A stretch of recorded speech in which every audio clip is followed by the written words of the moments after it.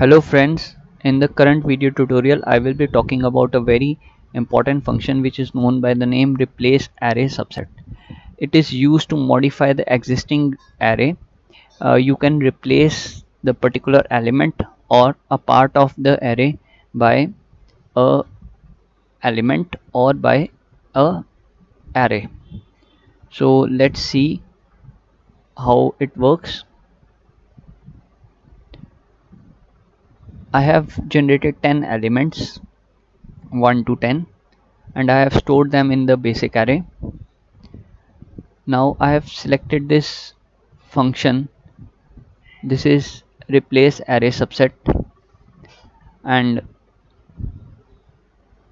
I have put the row index that at which index of the row since it's a one-dimensional array a particular element has to be modified uh, with the this element. So let's see.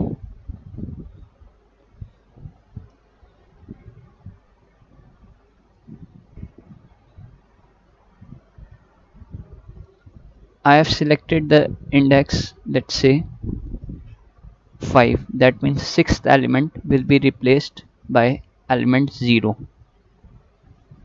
let's run the program. This is the basic array. 1 to 10 elements have been generated. I have selected 5 so that means the sixth index. Sixth index element is replaced by 0 this is replace array subset. Let's see the two-dimensional version of this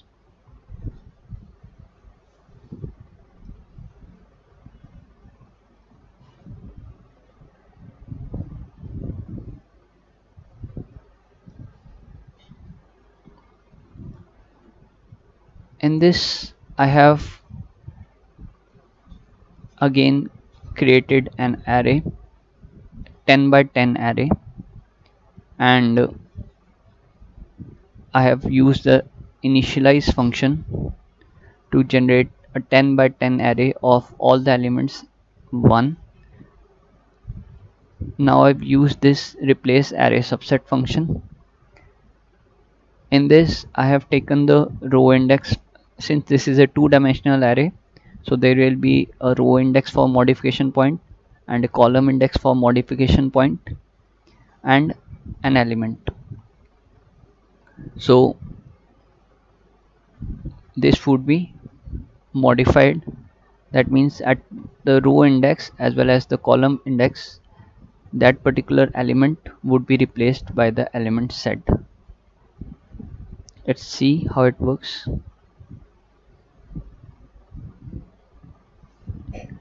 so row index for modification point I have selected 5 that means fifth row. And column index I have selected 4 uh, sorry row index is 5 that means sixth row. And column index is 4 that means the fifth row. A uh, fifth uh, column. So sixth row and fifth column. And element I have selected is let's say 7 so let's run. So you see that all the elements generated are 1 1 1 but in this modified array this is sixth row and fifth column. This element is replaced by 7 let's see if we can modify the original array by a complete array modifier array. Let's see this version also.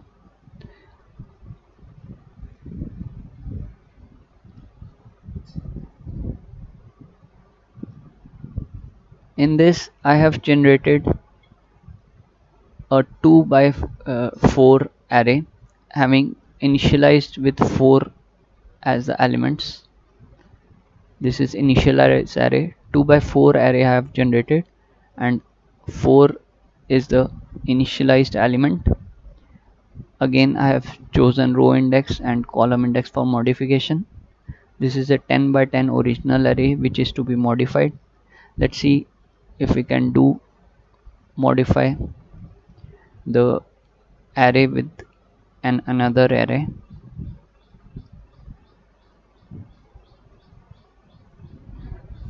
so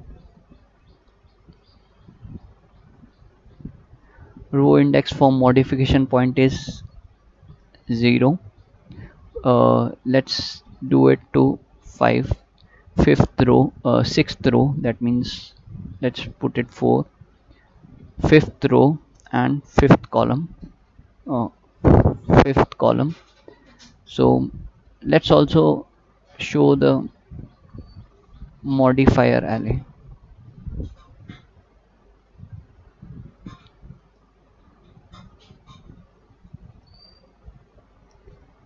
this is the array which is going to modify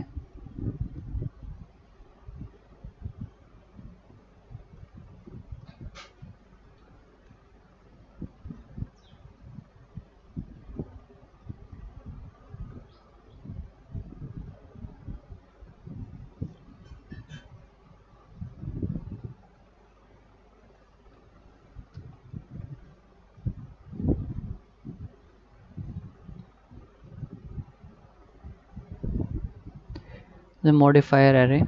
Let's run. So you see that this whole array has modified the existing original 2D array with 222 at the fifth row. This is the fifth row and fifth column. Onwards it has modified the original array. So this is replace array subset functionality available in LabVIEW. This is a very effective technique of modifying the existing arrays with the element or some sub array or array subset. Thanks for watching this video. I hope you have liked this video.